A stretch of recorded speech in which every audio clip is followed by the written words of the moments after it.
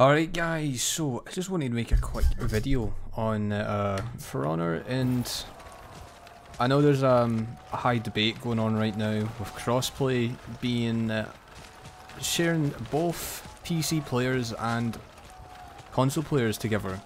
Now this brings up a new debate on which is better, keyboard and mouse or controller. Now most people in this game play controller, I even did. I played uh, controller on Xbox, and uh, I, I would say there's nothing wrong with using either output, or input should I say, but uh, they all, they both have their own benefits. For example, um, like a controller joystick is just, I think, a lot better in some circumstances for the guarding, because on keyboard and mouse, your guard is a bit mad. Like, I'm barely even moving my mouse. And my guard's, like, really mad. So yeah, that's like one of the main things. And also, um, target, target switching can be a bit, like, weird. I can't really show it here because there's only one guy. But on keyboard and mouse, you have to use toggle. Well, you don't have to, but it's preferred that you use toggle on the guard. So you can do other actions. But, you know, that's one of the downsides of uh, keyboard and mouse. Um, but there are benefits, like using your left and right click as like your heavy attacks obviously your parry button as well and the travel distance on the travel distance on your right click is like nothing so you can parry like can parry a lot easier. That's like one of the first things I noticed when I came to keyboard and mouse. Um, and also, a lot of mechanics, like, I know a lot of people like to do these like weird tech uh, tricks, like spinning around when like smacking someone or something. Can't really do that, but you know, you know what I mean. Like Nobushi used to do it all the time. Like everyone played Nobushi and did the zone attack like backwards, and then came this way. That, it's a lot easier to unlock on keyboard and mouse, I think. Because you can use your running key, uh, which is shift for me, to like exit your guard mode. Like that. So, it can be good. And also another really great aspect to keyboard and mouse is binds. You can mess about with your binds a ton. Because I sure have.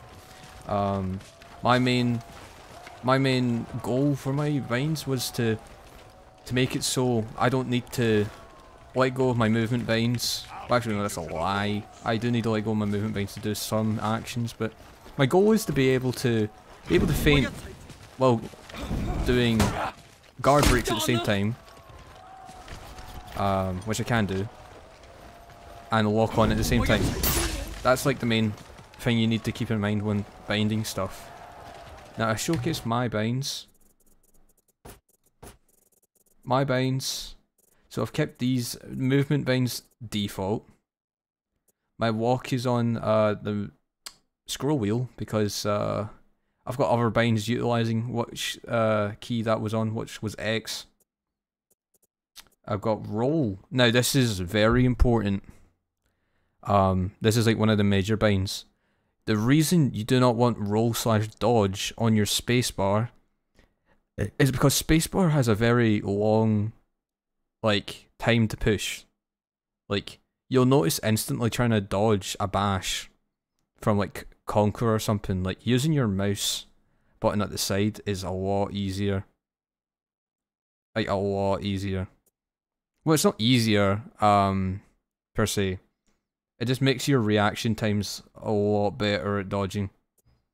And I just kept them all the same because they're all that sort of button. And now guard mode, I don't ever use this key. Like, I never use it. I use the cycle target key all the time. Because, um, it's more like controller. Because controller only has, like, one lock on.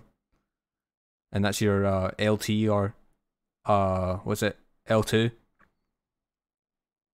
Um, yeah, I honestly like if I was trying to get used to keyboard and mouse as anyone knew, like don't don't use this bind. Um, I think default's control. Yeah, I've got I've got the all block hidden stance bind on control, so you can uh, fiddle about with that if you want. Um, light and heavy tag I've kept the same. I have double binded F to both of these, so zone attack. I don't need to press left click and right click at the same time to zone attack. I just press F and it inputs. You need to uh, delay your. You need to delay like input and zone attack after an attack, or else you'll like do a random heavy or a light attack. To keep that in mind. But I'm sure you already know that. Uh, full block stance we got on left control, as I've said before. You'll want to um. You'll want to mess up that. I had that on mouse button five. I don't really like holding my mouse buttons, and you kind of need to hold for a full block stance. So I used left control. That's an easy access bind for me, and um, works really good especially if people who spam all block like Kyoshin or JJ or uh, Nobushi. Guard break, this is the second most important bind. I've got guard break on spacebar.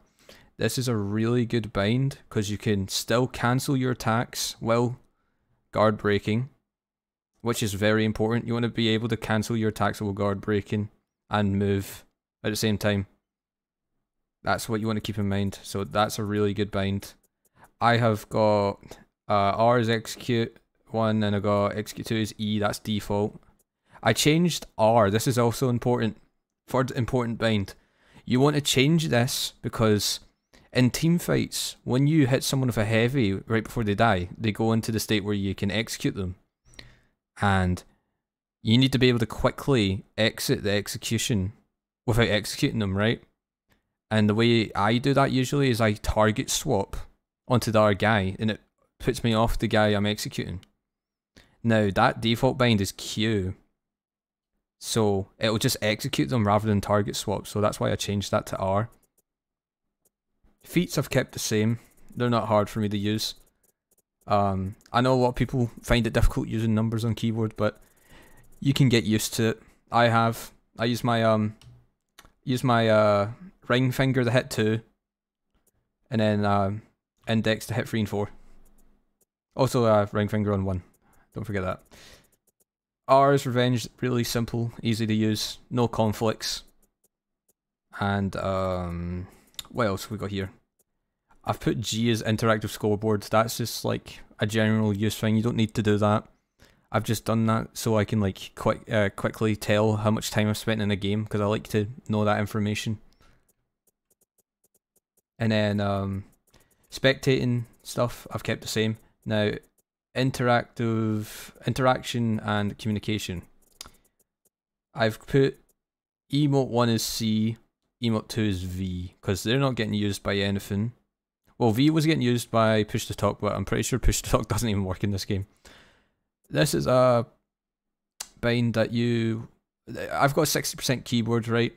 The default bind for quick chat on keyboard and mouse is the is it tilde key I think one next to one and I don't have that key on my keyboard because it's a 60% I have escape there so I've just rebinded that to caps lock because nothing uses caps lock so it's easy to use quick chat I've kept um kept all the selections the same uh text text like things are all the same and then that should be it. I've just unbinded, pushed to talk because I'm pretty sure Ubisoft Ubisoft disabled it because people are so toxic in this game. Um, that's also another thing I'd recommend. So that's all my settings. Um, you just click ignore here. It's saying the double binded F is a conflict, but it still works and there's no conflicts. So that's all my keybinds. Now, general controls, I keep the camera sensitivity at 5, it's fine for me. I play 800 DPI, it's not too fast. Guard mode, mouse out, uh, input, you want to keep that on. Uh, what else? You want lock toggle keyboard on, so that makes your guard mode uh, toggle. If it's not on, then you'll need to hold your lock on key, and that's not good. Uh, this is a very important one. Exit guard mode rule. Keep it to never because see if you have any of the other ones, it boots you out of lock on, and when you're not locked on, anyone who hits you gets free heavy attacks on you, and you can't block it or parry it. So you want to keep this to never. And the way to deal with someone attacking you well, you got an execution uh, indicator, is you just target swap to them and hit them. Cycle enable cycle targeting system. You want to keep this off. I think it's on by default. Um, reason you want to keep it off is because it makes it so you lock onto the people closest to you, like the first two. I'm pretty sure. Um, and that's better than the R system that locks onto every single person around you. Um, because then you can't get to the person that's right next to you. So you want to keep that. Do not mess with this. This will disable your keyboard and mouse. Um, unless you're using controller, obviously. But why would you be watching this if you're wanting to know keyboard and mouse settings, right? Uh, that should be. Oh wait, no, no, no. We got the flight, not flight, fight controls. So this is a sensitivity bar basically. It determines how sensitive your um, guard switch is. Uh, I've kept all these settings the same except from the guard mode sensitivity. Guard mode sensitivity I think is 10 by default. It's really fast I think on the default. So I just put it down a little bit. You tweak this to your preference but take my settings and mess about with it I would say. And uh, that should be all it. And this works really well. I know um, a lot of people who go to For Honor PC want to know like, is keeping and mouse worth it? And yeah, it, there is no like, like, it's not like terrible. It's like preference to be honest. But um, I know a lot of the top pros play on a keyboard and mouse in For Honor, like Barak Yeet. He's one of the pros I know that plays keyboard and mouse. Um, Clutchmeister, he plays keyboard and mouse. Just like a lot of people play keyboard and mouse, right? Um, reasons for you got the the left click and right click, easy access. You got the mouse button to dodge. So it's like really responsive, basically. That's the main reason people like to play keeping the mouse on For Honor, is it's responsive. It does not have terrible controls. Like this game has definitely got great keyboard integration. So do not think it's like Elden Ring where they have no idea how to make keyboard and mouse controls. So yeah, that's my video guys. Um, I hope you enjoyed and I hope you take something away from this and uh, get your keyboard and mouse set up for For Honor. See ya.